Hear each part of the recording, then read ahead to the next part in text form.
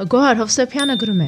Սեպտեմբերի 27-ին կայանալիք ցույցը երբեմնի գողապետական աստղերի գահավիժման վերջին ստադիայի հիստերիկ պորտկոցն է։ Հարավային Կովկասում վերջին 1 տարում գերլարված եւ բախտորոշ իրավիճակ է ստեղծվել։ Այսօր չեմ անդրադառնա այն հարցին, թե ով եւ ինչ նպատակներով հրահարեց 2020-ի աշտանը սկսված եւ այժմ սառեցրած հայ-ադրբեջանական պատերազմը։ Կխոսեմ քաղաքական հետևանքների եւ որոշ կազմակերպիչների մասին։ Ադրբեջանի պետության տնտեսական իրավիճակը եւ երկրի ղեկավար ու ժողովուրդ հարաբերությունները մինչ վերը նշված պատերազմը հիշեցնում էին Հայաստանի տնտեսական իրավիճակը եւ երկրի ղեկավար ու ժողովուրդ հարաբերությունները մինչ 2018-ը։ Առաջին՝ երկրում տնտեսական իրավիճակի փոշիացված վիճակ, համատարած ծայր աղքատություն։ Երկրորդ՝ երկրի ղեկավար կազմի մանարխիկ գողապետական պահվածք, օլիգարխի կալվածատիրական հնարավորություններով։ Երրորդ՝ մաքսիմալ արտագաղթ, հիմնականում ՌԴ, քանի որ արտաքին երկրներից ամենահարաբերվող արտաքին քաղաքական իրավիճակ ստեղծել են ՌԴ-ի հետ միասին, չթողնելով այլընտրանք, ապահովելով ուղիղ կախվածություն ՌԴ-ից։ Չորրորդ՝ պետականաշինության ամենաթողություն, կոռուպացվածություն եւ ղեկավար անձանց հանցագործ վարքագիծ։ 5-րդ՝ երկրի լիդերների ինքնագովազդում պավսային հոգեվարքով։ Եվ 6-րդ՝ պետության մեջ շերտավորում, օլիգարխիկ կույտ եւ ժողովուրդ, որտեղ ժողովուրդը մատնված էր ճնշման եւ ծայր աղքատության եւ այլն։ Պատերազմը Ալիևի համար մեծ հնարավորություն էր երկրում լարվածությունը հանգստացնելու եւ իր հեղինակությունը ըմբոստացած ժողովրդի մոտ վերականգնելու նպատակով, քանի որ կերել էր Պուտինի խայծը եւ համոզված էր, որ պատերազմի արդյունքում մեծ տարածքներ իրենց կտրվեին, ընդհուպ մեղրու միջանցքը։ Այդ պատճառով էլ Իսրայելից ահռելի գումարների արժողությամբ զինամթերք էր պարտք վերցնում եւ այսօր միլիարդ դոլարների պարտքեր է կուտակել, ներքին եւ արտաքին տնտեսական իրավիճակը տանելով կռախի։ Ռուսաստանի հետ արտաքին քաղաքական իրավիճակը շատ մեծ սրվածության է հասել քանի որ պատերազմի ընթացքում մեծ պարտավորվածությունների մեջ մտավ Թուրքիայի հետ եւ այսօր ուղիղ ճնշող կախվածության մեջ է Էրդողանից, ով թելադրում է Ալիևին ամեն քայլ, Ալիևին դարձնելով իր ձեռքում մարիոնետ։ Ալիևի վիճակը բարդագույն է եւ անելանելի։ Նա ընկել է փակուղի։ Վերևից սեղմում են Ալիևին ու Պուտինը հակառակ բևեռներում դիրքավորված։ Ներքևից հրաժարական է պահանջում Ադրբեջանի ժողովուրդը երկիրը կործանելու պատճառով։ Իսկ արտաքին աշխարհը մեր երկրի այսօրվա արտաքին քաղաքական բարձր դիվանագիտական քայլերի շնորհիվ դատապարտում է Ալիևյան հետ պատերազմական քայլերը, դնելով նրա առջև հայ ազգի իրավունքների վերականգնման բազմաթիվ պահանջներ եւ ամենակարևորը՝ գերիների վերադարձը։ Սերժա Քոչարյանական կլանը նույնպես հայտնվել է փակուղում, քանզի չկարողացան իրականություն դարձնել հորինված պատերազմի պատվիրած բլիցկրիգային պլանները։ Հետագայում իրենց հրահրած արտահերտ ընտրությունները չհաջողվեց գրպանել։ Բացի դա հասկանում են, որ սկսվել է մաքրվել դատայրավական համակարգը եւ մեծ վտանգի տակ են դրված իրենց անօրեն ճանապարհներով ձեռք բերված կալվածքներն ու կարողությունները, իսկ ամենակարևորը՝ ազատությունը։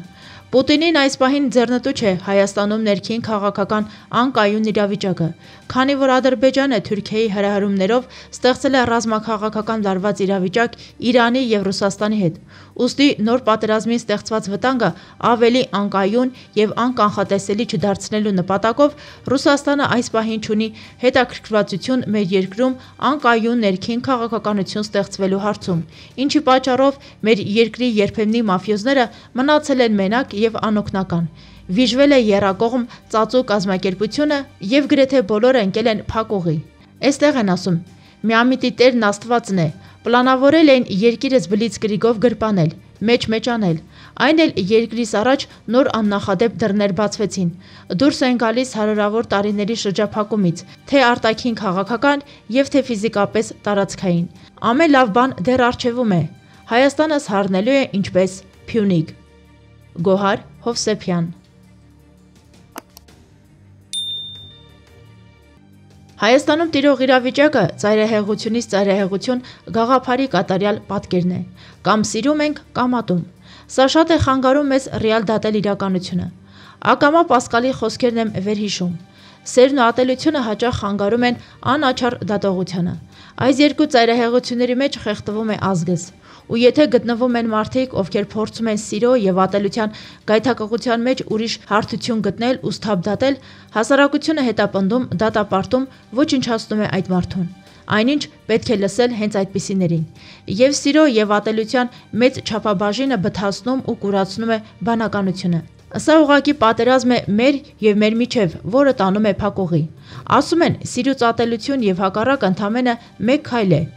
Այդ մեկ քայլը փոքրիկ տարածություն է, բայց այն կա, եւ հենց այդ փոքրիկ տարածության մեջ է մեր փրկությունը։ Հենց այդտեղ պետք է կանգ առնել ու մի լավ մտածել։ Մի փոքրիկ միջանկյալ տարածություն է, ծայրահեղությունից ծայրահեղություն վիճակի միջև։ Հենց այդ մեկ քայլի չափ տարածության մեջ է ապագան, իմ, քո, բոլորիս հայրենիքի ապագան։ Երանի կարողանայի այդ մեկ քայլաչափ տարածության մեջ հավաքել աշխարի հայերին ու ստիպել նույն ռիթմով, նույն նպատակի համար բաբախել։ Այդ ժամանակ բոլորով միասին նույնաչափ կստիրենք մեր հայրենիքը եւ նույնաչափ կատեինք նույն թշնամուն, ոչ թե իրար։ Նարին Փայլակյան Բայց վերջին օրերին հասկանում եք, չէ՞ ինչա կատարվում, ժողովուրդ։ Հայաստանը իբր պարտված երկիր իր փոքր տարածքով ու երիտասարդ դեռ 30 տարեկան անկախությամբ դավադիր պատերազմից ընդամենը 1 տարի անց իլուր աշխարի սարը պատերազմ է հայտարարել գերտերություն համարվող Թուրքիային եւ իր հովանավորյալ Ադրբեջանին։ Ու ինչ է տեղի ունենում։ Սովորաբար թելադրողի դերում միշտ լինում է հաղթանակած երկիրը։ Ընկճված ու վախեցած է լինում պարտվող կողմը Ու հիմա հատկապես վերջին շրջանում Ադրբեջանը իբր հաղթած լինելով ու իբր թելադրողն ըստ կարգի պիտի ոչնչից չվախենա։ Արի ու տես ինչ է կատարվում։ Օր-օրի թե լսում, թե տեսնում ենք, որ շատ հայեր ռուսական կողմի աջակցությամբ այցելում են Արցախ։ Ադրբեջանցիների կողմից ճանապարհներին խոչընդոտներ չի ստացվում առաջացնել։ Փորձում են մոլորված հայերի գերի վերցնել։ Հետո ականջները կախ ետ են վերադարձնում։ Իդեպ Մի լավ հյուրասիրությունից հետո Ազերը փորձում է որոտանով անցնող ավտոբուսին կանգնեցնել ու պոկել վրայից Արցախի դրոշը, ու հետո ստանում է ավելի կոշտ պատասխան։ Այսօր արդեն հայկական կողմը չի թողնում ադրբեջանական մեքենաները Մարտակերտի կողմ տանող ճանապարհով անցնեն ու խոճապահար փախչում են, երբ 3-4 հային սկսում են միանալ եւս մի քանիսը։ Այս ամենը, ինչպես ասացի, սառը պատերազմի արդյունքում որին շատ ավելի սարսափելի հարված հասցրեց ԱՄՆ-ի կոնգրեսի կողմից ընդունված վերջին երկու բանաձևերը։ Պարտադիր բոլոր գերիների վերադարձի եւ Ադրբեջանի հանդեպ պատժամիջոցներ կիրառելու մասին օրենքում ուղիղ մեսիջ ուղարկելով նաեւ Թուրքիային։ Այս ամենից րոպեներ անց հոգեվարքի մեջ է ընկնում իբր հաղթանակած երկրի նախագահ Ալիևը, երբ լսում է, որ Հայաստանի Հանրապետության վարչապետ Փաշինյանը պետք է ելույթ ունենա ՄԱԿ-ի գլխավոր անսամբլեայում։ Հիմա մի հռետորական հարց ամբողջ աշխարհին։ Ադրբեջանը հաղթած պետություն է, թե ոչ։ Երբ 7 պետությունների աջակցությամբ Բլիցկրիգով պատերազմը հաղթելու ծրագիրը 44 օրում այդպես էլ չհաղթեց։ Այո, իսկապես չհաղթեց։ Այո, Ալիևը հաղթած ղեկավար չի։ Այո, Ալիևը այսօր էլ վախենում է Հայաստանից։ Գրիգոր Ֆնդիկյան